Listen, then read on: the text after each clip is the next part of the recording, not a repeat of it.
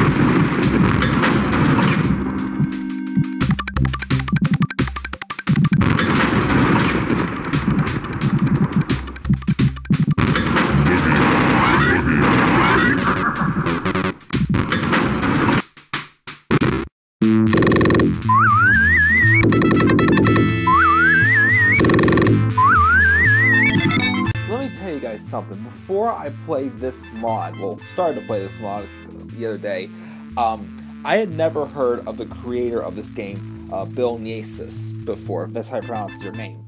Um, but let me tell you something. He's a pretty good map designer. I mean, I've been pretty impressed with these first two maps. Well, the difficulty is definitely hard, but I think the designs, for the most part, are pretty good. This one, floor two, is probably the, the hardest one I'd say so far. To get 100%, that is. I mean, if you don't want 100%, it's not too, too difficult because, you know, the keys aren't really too far off track. They're pretty easy to find, I feel. But this map, like you, uh, floor two in Wolf 3D of episode one, really, you know, shows off the side areas. There are a lot of side areas this map, and most of them you can probably just skip over to um, to you know to, to, complete the map if you're not playing this map for 100%. But if you want 100%, like this map is definitely tough to 100%. Again, the, the, the trend continues throughout this game with the first three maps we've done with the amount of doors, and a lot of them loop around or lead you back to places you were at earlier in the map. And with how many doors there are again, it makes it very difficult to keep track of where you've been. I, the practice round for this map, I spent at least 10 minutes just trying to find a, an enemy and a bunch of treasure, end up being that small blue room near the exit that I missed. So yeah, with all these doors, like it, it is very confusing to navigate, and it can be tough also to remember where the secret areas are as well. But I gotta give credit, these maps are pretty good, I gotta say. I mean, they're not like, like the, the, the hardest maps I've seen in Wolfenstein 3 history, but you know, for just a 10 map holiday mod, this is a pretty good game so far. I'm pretty impressed, but this is definitely the hardest map so far.